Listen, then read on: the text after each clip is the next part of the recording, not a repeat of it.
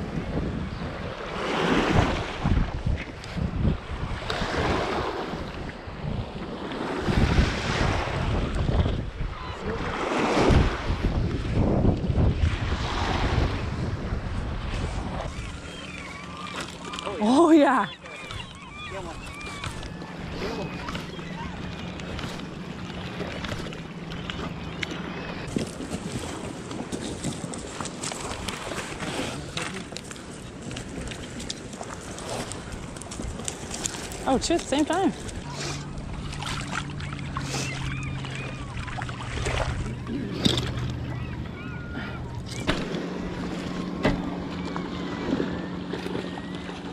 That's not that big.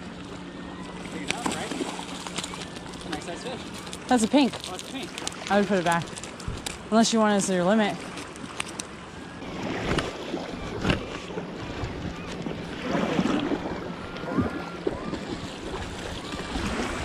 I got a snag. Hold on, dude. There you go. I like to gut him or to bleed him. Watch your eyes, man. That's what I like to see right there. There you go.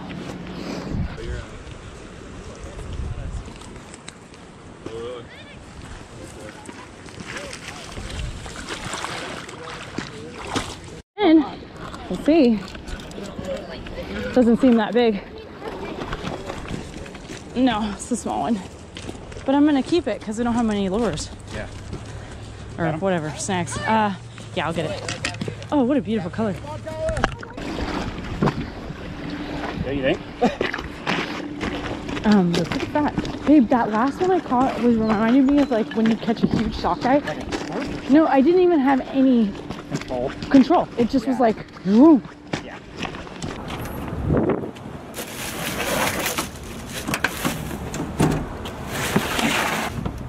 Look at all those silver salmon. It's actually our first time catching silver salmon. We've never eaten it, so we're definitely gonna do a taste test on these.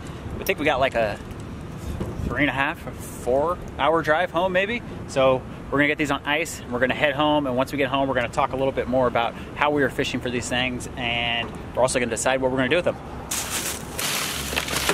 Probably should have brought a bigger ice chest, but we didn't know we were going to limit. So catch our limits. That's really exciting. They barely fit in here. We took some small ones, but we also have some really nice big ones. So very excited to get these home and get them processed.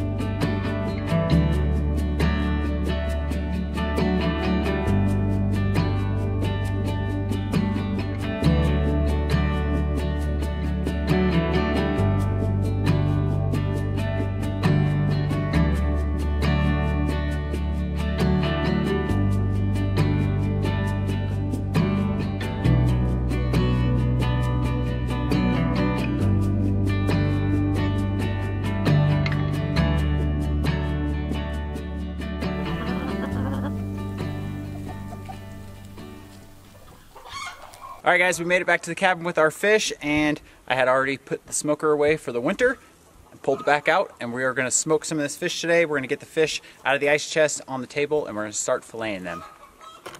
Before we get started on processing our fish, Eric and I were going to talk a little bit about what kind of fishing we were doing. We decided to take a trip to Seward for silvers. Yeah, and the type of fishing we're doing is called snagging, and it is basically throwing this huge treble hook that has a weight molded on it into the water, jerking it in as fast as you can in hopes that this hook will snag a salmon and you can snag the fish wherever you want. It does not have to be in the mouth. So that type of fishing is obviously not allowed everywhere and it's definitely not allowed everywhere in Alaska. There's only certain spots that you are allowed to do that and you do have to be a resident. As far as the rod and the reel we are using, we both have, I think these are like seven foot or seven and a half foot, really heavy rods and then we use, we just have cheap reels and we use 20 pound test line. I think we could have went a little bigger on the line. We did snap off a few of the fish. These fish are really big and aggressive out there. We hadn't fished for these before and it was a blast. They did range from, you know, smaller to bigger fish depending upon the age. Yep. But they were definitely some of the, the biggest fish that we fished for. Yeah, when you hook into these things, if you have a big one, it just, they take off on you. It feels like a rock with a motor in it. So these things are super fun to catch. There was a lot of people out there, so you have to keep that in mind if you're doing this type of fishing.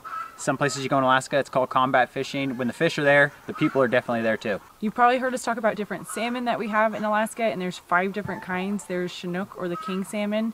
That's something that Eric and I have not fished for. And then you have the sockeyes or the reds, pink salmon, chum salmon, and then lastly the silvers. And the silvers come in late. So we were really excited that we had time this year, you know, just getting the moose done early to, to go there and do it. And Seward is absolutely beautiful, of course. Uh, yeah, Seward is an awesome town. It's probably one of the most beautiful places we've been in Alaska. And you may think that just throwing a huge hook out there in the water and just catching these fish wherever you can is like really easy.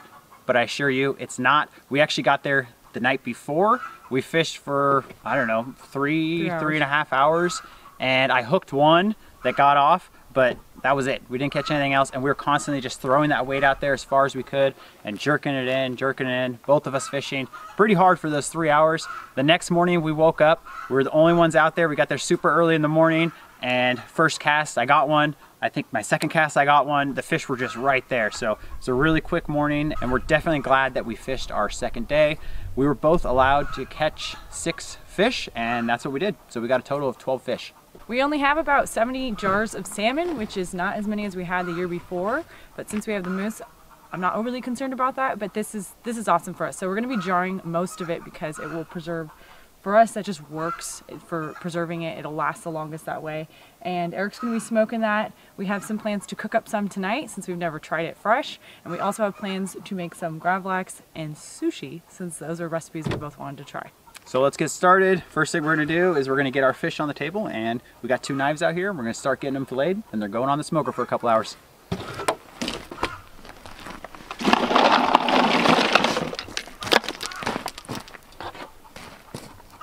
Oh, what is called? Oh, I must have scraped that one. One sec. Going dry. Where's our crooked chicken? Ready? Female. A girl?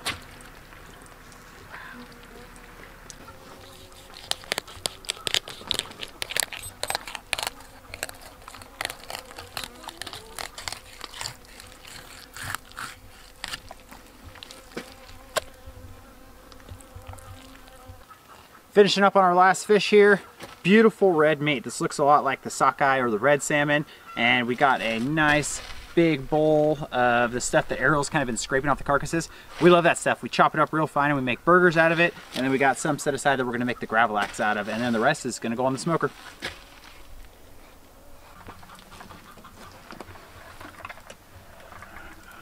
He's gonna fill the whole thing up, huh? Okay.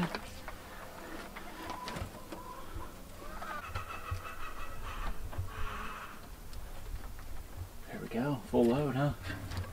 Boom.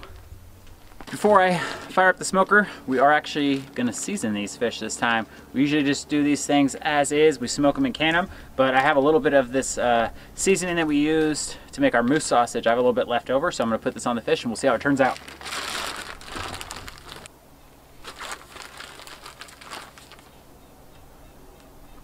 So we're gonna get this started. We're gonna get some coals going in there, just some regular firewood, and then we are gonna be using seasoned alder to smoke this.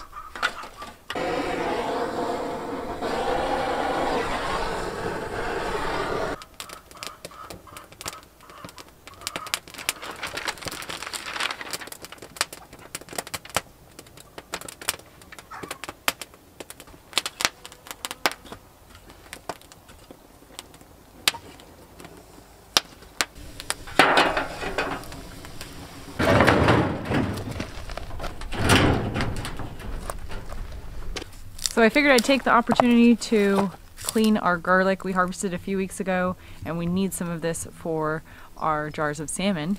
I'm really excited to have this this year. We're also going to be adding some jalapenos and fresh herbs when we get those jarred and we are almost there. The meat's almost done smoking.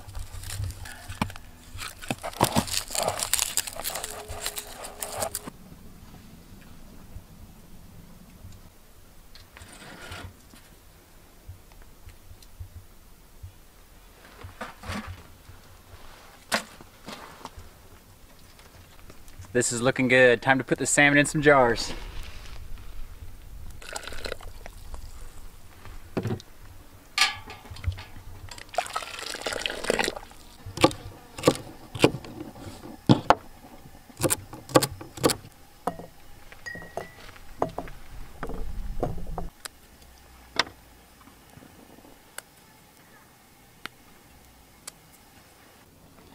I didn't even, look at that. I barely even made one jar out of that. Out of a half a fillet, huh? This is a very big fillet though. Wow. Do you see how red this one is?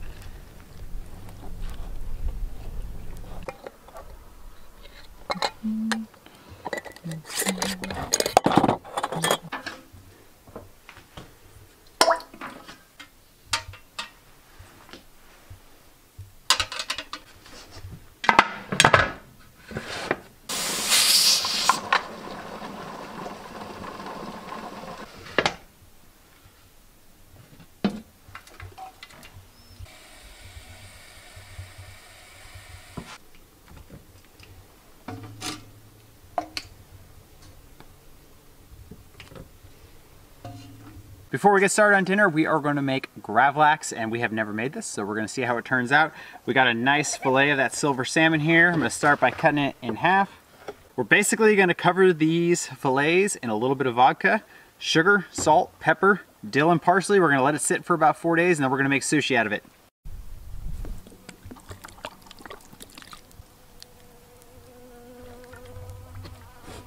We're gonna keep this in our cooler for two to four days and we're gonna be turning it maybe like every day to make sure that the brine gets into the fish and we're gonna be trying this. Like I said, we're gonna be making sushi out of it, but we're gonna get started on dinner. Let's make some dinner. We are doing a bed of quinoa with a salmon fillet on top with some fried skin and some steamed vegetables.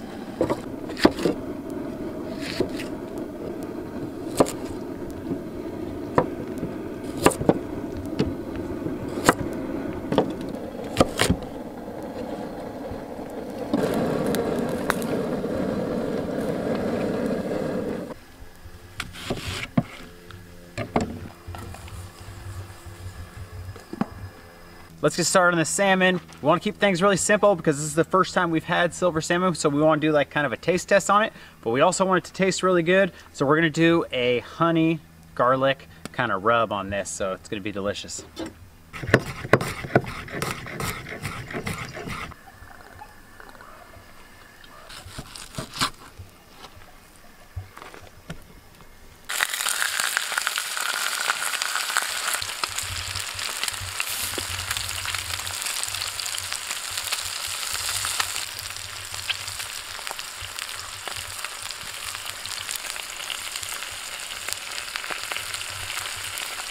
All right, we got the honey and the garlic on there. We're gonna do a little bit of cilantro on top. A baby. No, no, no.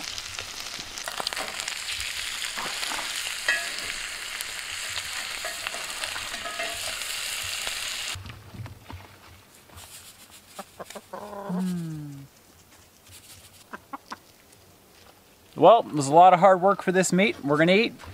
I ate the first piece. Me first.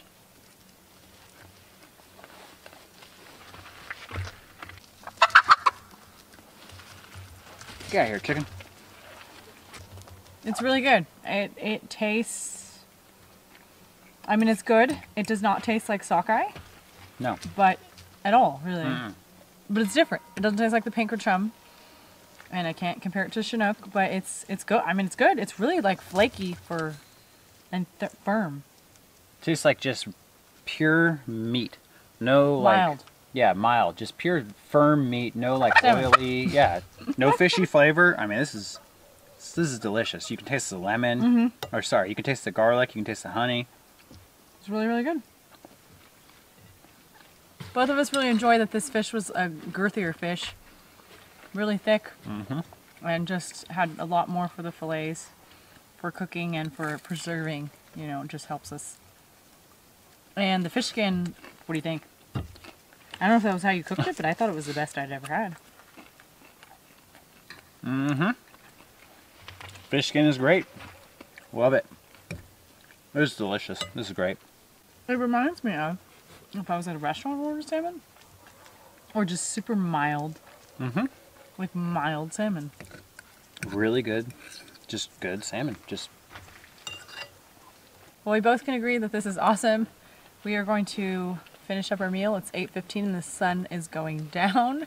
So we're gonna head inside, make a fire, and then we will catch back up with you guys in a few days when our Gravlax is ready, or Gravlax is ready, and we will make sushi. It is finally time to try our Gravlax, and before we make sushi out of it, I'm gonna try it just as is and see how it tastes. It actually put off quite a bit of liquid in those four days, so we just drained it out of the pan that it was in, and we got it sit on the counter, and we're gonna try it. So it pretty much smells like vodka and dill.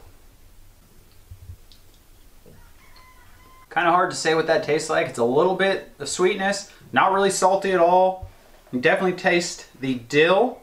Um, pretty good. I don't know if I just eat that by itself. I could probably eat a few bites, but not the whole thing. I'm gonna get some slices sliced up. I'm gonna put it on this. We're gonna make some sushi, and Arielle's gonna come in here. We're gonna try it.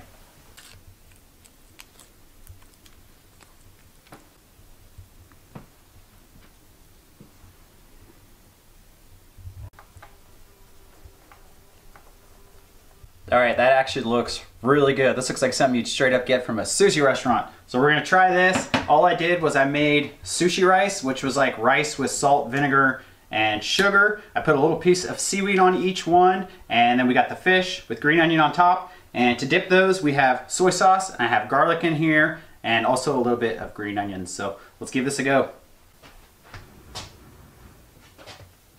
Eric's out in the Conex. He's trying to see if we have any chopsticks, but I just couldn't wait.